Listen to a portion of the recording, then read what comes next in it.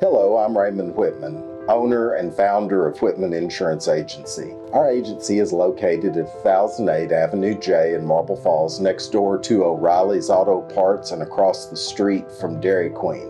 Our agency was founded 31 years ago. We handle all types of insurance home, auto, boat, RV, commercial, general liability, commercial fire, commercial auto, farm and ranch, and many, many more. We are an independent agency, so we serve multiple companies so that we can find the best coverage for you at the best price. Hi, I'm Jacob. I work for Whitman Insurance. I've worked here since January of 2018. And I'd love for you to come see me and see if we can put insurance on any of your property that you may have.